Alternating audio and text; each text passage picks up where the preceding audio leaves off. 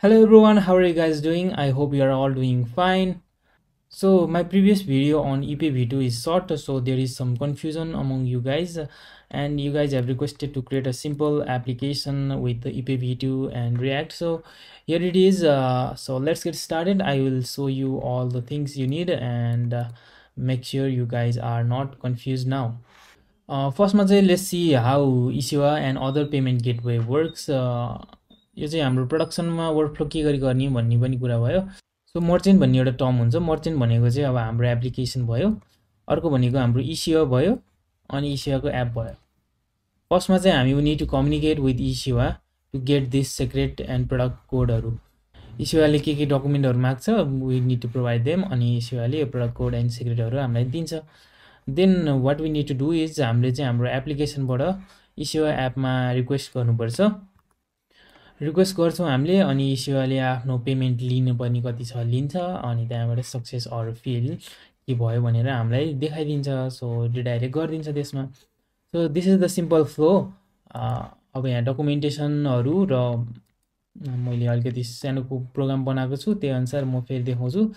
So यो चाहिँ मैले सिम्पल एउटा एप बनाएको छु रियाक्टमा एउटा ह्यान्डल इछेवा पेमेन्ट बटन भन्ने छ।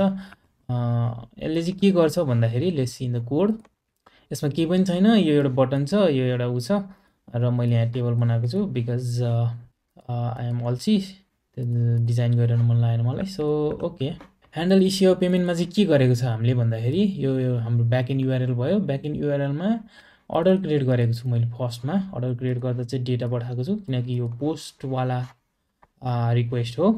पोस्ट रिक्वेस्टमा डेटा पठाउँछ हामीले। सो लेसी ब्याकेन्डमा के काम भइरहेछ यसको? ओके स्ल्यास एपिआई स्ल्यास अर्डर्समा हाम्रो अर्डर्स राउट छ। यसमा चाहिँ स्ल्यास क्रिएट गऱ्यो भने पोस्टमा क्रिएट अर्डर भन्ने बनाएको छु। यसमा के हुन्छ भन्दाखेरि एउटा सर्भिस भन्ने छ। सर्भिस पनि बनाएको छु। यसले चाहिँ के गर्छ भन्दाखेरि हाम्रो डेटाबेस अपरेसनहरू ह्यान्डल गर्ने सेभ गर्ने फेच गर्ने अपडेट गर्ने सबै यसले नै गर्छ। यसले गर्दा चाहिँ हाम्रो कन्ट्रोलरमा धेरै कोड हुँदैन। अनि कन्ट्रोलर अलिक क्लिन देखिन्छ रिडेबल देखिन्छ। अर्को भनेको मैले क्रिएट सिग्नेचर भन्ने एउटा फङ्सन बनाएको छु। यसमा चाहिँ सिक्रेट भनेर यो दिएको छु। यो चाहिँ कहाँबाट आयो भन्दाखेरि हाम्रो सेवाको डकुमेन्टेसनमा यो एचएमएसीले चाहिँ हाम्रो सिग्नेचर जेनेरेट गर्नुपर्छ भनेर भनेको छ। यो चाहिँ एउटा एल्गोरिदम हो। SHA two fifty six algorithm use गर्छ यसले। यसमा चाहिँ के गर्नुपर्छ? साइन फिल्ड नेम्सहरू अनुसार हामीले एउटा मेसेज क्रिएट गर्नुपर्छ र सिक्रेट चाहिँ यसले यहाँ दिएको छ। सो यही सिक्रेट मैले कपी गरेर यहाँ राखेको हो। अनि म्यासेज चाहिँ प्यारामिटर पठाउने भनेर बनाएको छु। र यहाँ पनि दिएको छ कोड कसरी गर्ने भनेर।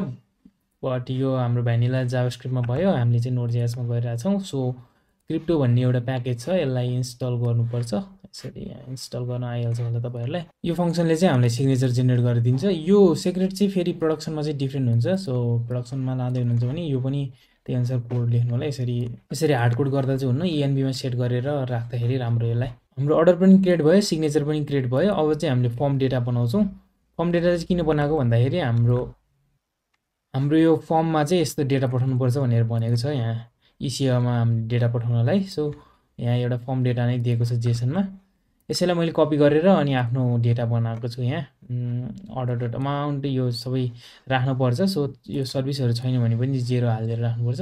अर्को भनेको साइन फिल भयो। यो साइन फिल चाहिँ के हो भन्दाखेरि यो सिग्नेचरमा हामीले के के हालेका छौँ मेसेजमा टोटल अमाउन्ट भयो ट्रान्जेक्सन युआइडी प्रडक्ट कोड यो के के हालेका छौँ? यसको यो क कमा सेपरेट गर्दै हामीले साइन फिल्ड्सहरू दिनुपर्छ के केले साइन गरेको हो भनेर भन्नको लागि हो त्यो चाहिँ। अनि यो डेटा भइसकेपछि हामीले यसलाई चाहिँ अब फ्रन्ट एन्डपट्टि रिडाइरेक्ट गरिदिन्छौँ। मैले चाहिँ यसैलाई ब्याक एन्डबाटै ट्राई गरेको थिएँ एपिआई कल गर्नको लागि बट मिलेन। मिलेको भए चाहिँ अझ बेस्ट हुन्थ्यो। हामीले फ्रन्ट एन्डमा डेटा पठाइरहनै पर्दैन थियो यो। बट अब हामीले पठायौँ अनि त्यहाँबाट के हुन्छ यो ह्यान्डल क्लिक गरिसकेपछि फ्रन्ट एन्डमा डेटा पठाउँछौँ। फ्रन्ट एन्डमा डेटा पठाएपछि हाम्रो रिडाइरेक्ट गर्नुपर्छ। सो के गरी भइरहेछ त्यो? यहाँ यो फ्रन्ट एन्डले क्रिएट अर्डर भनेर बनाइरहेछ। क्रिएट अर्डर गरेपछि रेस्पोन्स आएपछि इसिवा कल गरिरहेको छु मैले। इसिवा कलमा चाहिँ के भइरहेछ भन्दाखेरि यो भनेको हाम्रो पाथ भयो इसिवाको अनि यो हालिदियो एन्ड अरू फिल्डहरू चाहिँ यो फर्मको फिल्डहरू चाहिँ मैले हिडन एट्रिब्युट दिएर अनि नेम एन्ड भ्यालु हालिदिएको छ।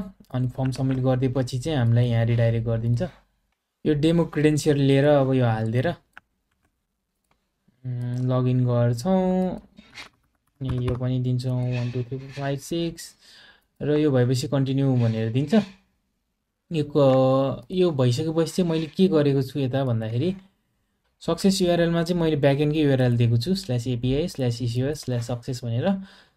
सो यहाँ हेरौँ स्ल्यास एपिआई स्ल्यास इसेवा अनि सक्सेस भनेर। सो के गर्छ सक्सेसमा भन्दाखेरि यसले चाहिँ हामीलाई यहाँ रिडाइरेक्ट गरिदिइसक्यो। सक्सेस भयो भने चाहिँ के हुन्छ भनेर भनेको छ भन्दाखेरि यस्तो खाले एउटा base sixty four encoded body पठाउँछ हामीलाई। क्वेरीमा दिएको हुन्छ रिडाइरेक्ट युआरएलमा यो चाहिँ हाम्रो बेस सिक्सटी फोरमा इन्कोड गरेको छ यसलाई चाहिँ हामीले फर्स्टमा डिकोड गर्नुपर्छ।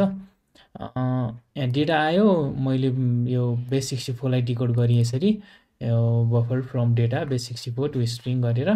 अनि यसलाई चाहिँ यो चाहिँ हाम्रो स्ट्रिङमा जान्छ सो जेसनमा पार्स गरिदिएँ लास्टमा अनि अब रेस्पोन्स हेरौँ हाम्रो। रेस्पोन्समा चाहिँ यस्तो आएको छ यो बेस सिक्सटी फोर इन्कोडेड डेटालाई कन्सोल गरेर हेर्दाखेरि चाहिँ हाम्रो ट्रान्ज्याक्सन स्ट्याटस कम्प्लिट ट्रान्ज्याक्सन कोडहरू दिएको छ। अर्को भनेको साइन फिल्ड नेम्सहरू दिएको छ र सिग्नेचर दिएको छ।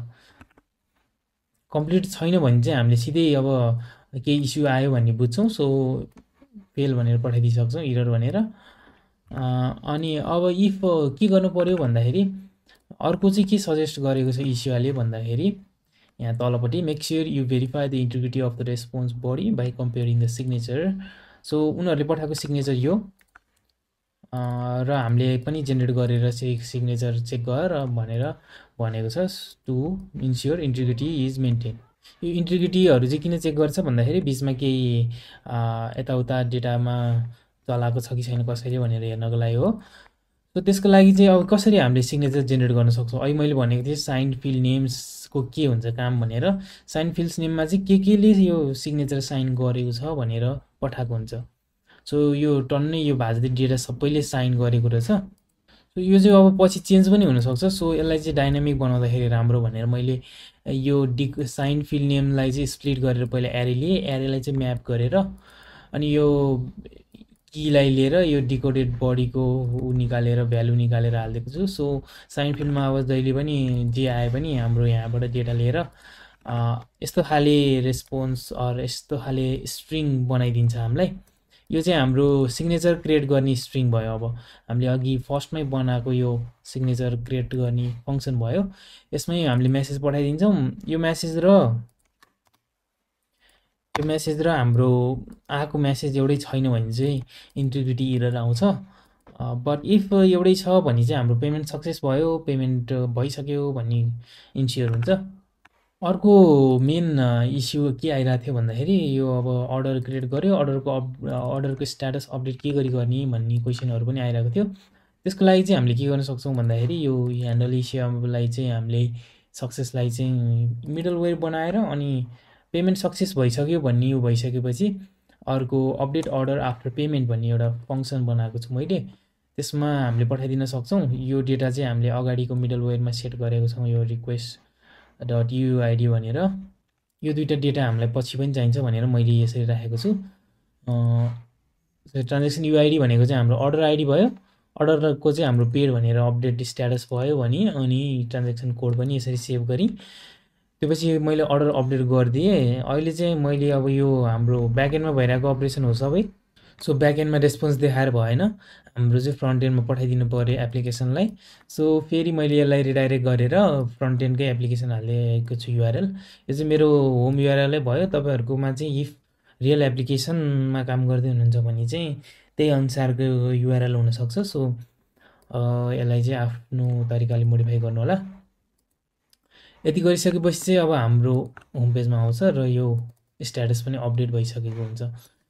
यहाँ अब लास्ट भनेको चाहिँ चेक स्ट्याटस भनेर भनेको छ। हामीले चाहिँ अर्को डबल भेरिफाई गर्न सक्छौँ यो एपिआईमा फेरि कल गरेर हेर्न सक्छौँ रेस्पोन्समा कम्प्लिट आउँछ कि आउँदैन भनेर। मैले चाहिँ यो प्रोसेस चाहिँ पहिलाकै भिडियोहरूमा देखाइसकेँ सो यसलाई चाहिँ मैले यसमा चाहिँ स्किप गरिदिएको छु। सो यहाँ सबै क्वेसन्सहरू सबै कन्फ्युजनहरू अब चाहिँ हट्यो होला भन्ने आशा गर्दै यो भिडियो चाहिँ यति नै हुन्छ होला। सो यो खल्तीको पनि web checkout KPG version two आएको रहेछ। If you guys want video on this to Khalti के गरी इन्टिग्रेट गर्ने how Khalti works please let me know in the comments below अनि I am more active now is on Instagram so please follow me there at at the rate tech with Bipin हर बिपिन थियो कि। जुनमा गर्दा नै हुन्छ I am regularly posting and is active there so please follow me there here everywhere and so i will see you in the next video. Thank you. Bye bye